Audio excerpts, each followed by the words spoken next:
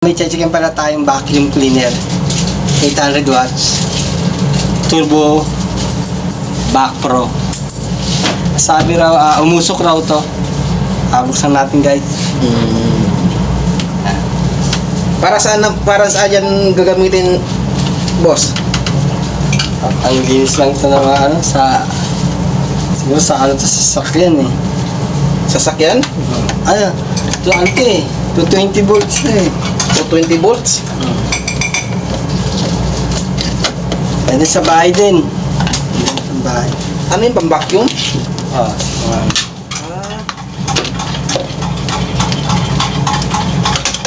Ayun siya mga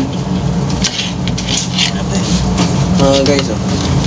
Ayos na ni Idol.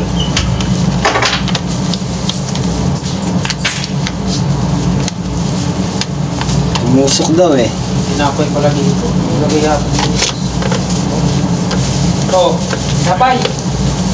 Napay sila. Magiging nakasig ba? Oh.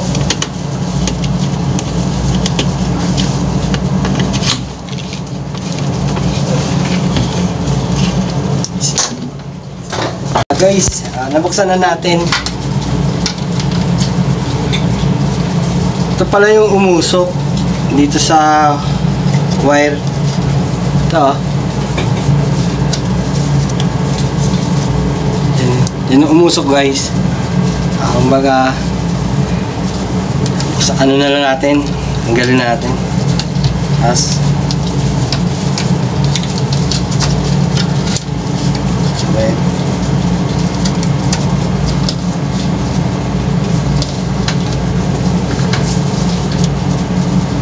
Dikit siguro to. Ayun ang sira. Oo. Dito umusok eh.